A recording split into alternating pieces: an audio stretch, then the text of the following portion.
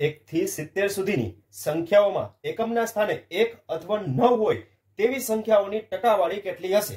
હવે અહીં એકમના સ્થાને એક અથવા તો નવ હોય એવી એક થી સિત્તેરની વચ્ચેની સંખ્યા સૌ પ્રથમ શોધી લઈએ. તો એક થી દસ વચ્ચેની સંખ્યામાં જોઈએ તો કે એવી બે સંખ્યા મળશે કે જ્યારે એકમના સ્થાને એક અને નવ હોય એ રીતે અગિયારથી વીસની વચ્ચે જોઈએ તો એમાં પણ બે જ એવી સંખ્યા મળશે કે અગિયાર અને ઓગણીસ જે એકમના સ્થાને એક અને નવ હોય. તો આ રીતે સિત્તેર સુધીની સંખ્યાઓ જોશું તો એમાં ટોટલ ચૌદ એવી સંખ્યા હશે કે જેના એકમના સ્થાને કાં તો એક હોય, કાં તો નવ હોય. હવે આની ટકાવારી શોધવાની છે તો કુલ સંખ્યાઓ જોઈએ તો એક થી સિત્તેર સુધીની કુલ સંખ્યાઓ થાય સિત્તેર અને ટકાવાળી શોધવાની હોય તો સો વડે ગુણાકાર કરી દેવાના.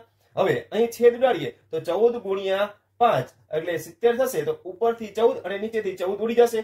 તો સો ટકા ભાંગ્યા પાંચ. સો ભાંગ્યા પાંચ કરશો તો વીસ ટકા આવશે. કે આ દાખલાનો જવાબ વીસ ટકા થશે.